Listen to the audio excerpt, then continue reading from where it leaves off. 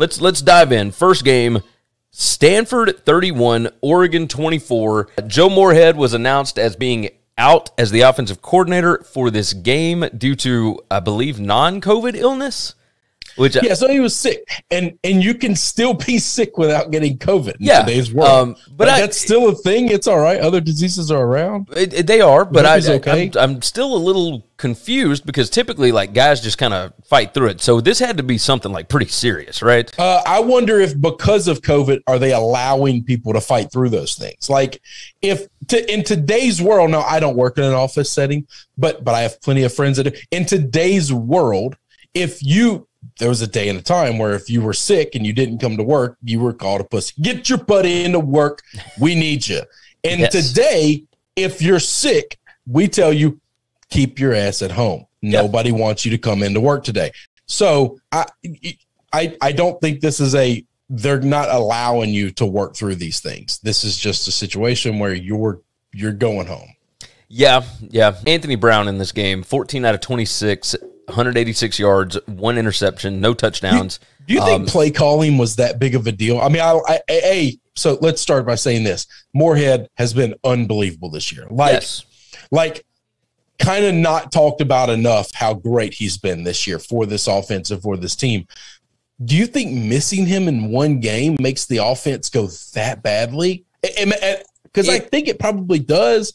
It I did just didn't early. expect- I didn't expect this. It did early, and then they finally got rolling in the second half. Uh, C.J. Verdell, I believe, went out with an injury, a little bit of an injury.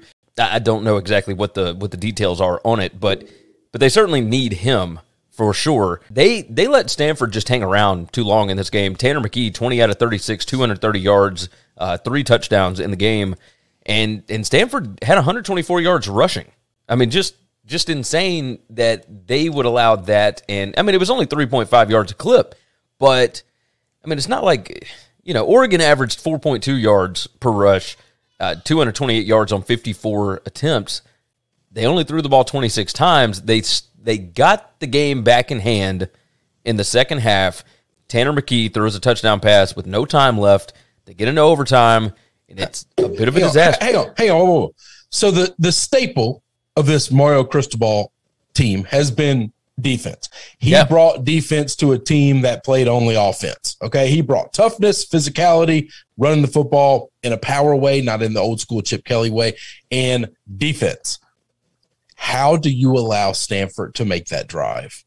How is that possible? I I don't know. I don't know. I mean, I, we can we can try and blame it on injuries if we want to. We can try. eh, There's no there's no real explanation. There's no real excuse. You cannot allow that to happen. It was You just- 11 you plays, just- you 88 just yards Can't allow it. in in what Eight- like 88 yards in like a minute and a half yeah. from this Stanford offense. This ain't Alabama on the other side. All right. It's, It's- a bunch will- of smart kids that get their ass kicked almost every week. I'm I'm noticing this with Stanford though. You get a different Stanford every week, which is what I was talking about with consistency, right? Like nobody's Yeah. consistent, which means That's nobody's true. great. That is very that is very true. So very true. It just depends on the week. It's like, all right, do you get good Stanford or do you get bad Stanford? And this week, Oregon had to deal with good Stanford, and now they are dealing with the loss, which is certainly going to drop them out of the top four because they, they were number three coming in. But now, you know, they, they had their mulligan, right? They had one mulligan because they had already lost to Ohio State, and now you got no more for the rest of the No, no, season. no, no, no. They beat Ohio State. I mean, They yeah, sorry, Ohio sorry, sorry. I, they they had already beaten Ohio State, which means they had one mulligan in the Pac-12, and now they got no more for the rest of the season. They can still make the playoff, but it's going to be tough. You know, it's going to be nuts.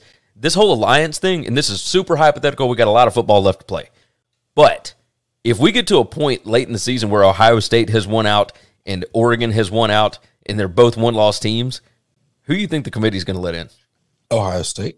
I think they are too, and I think They're that not whole going to care that head to head matters. They are going to let Ohio State in. They're the bigger program. And they the would have the bigger wins. They draw. Uh, yeah. I know. I'm just I'm I'm I'm talking all You the know what? talking No, points. Wait a minute. I shouldn't have said that. You're exactly right. If they go undefeated, if they beat Michigan, if they beat Penn State, and then if they beat Iowa, then then they deserve to go, even though they lost head to head at home. And is that that makes me sick to say that a team beat you head to head. But if you because I'm going to be consistent about this. I believe that you have to be able to reward teams for getting better. If Yeah. it's a weird year of chaos and and teams that are not no one's perfect and we got to let flawed teams in, you have to reward teams improving. You just do as much as I don't like Ohio State, I have to be consistent about that. I've been consistent about it for my entire career of talking about these things. I believe that it's okay to be able to get better. This is why I don't think losses are the worst thing in the world. Yeah.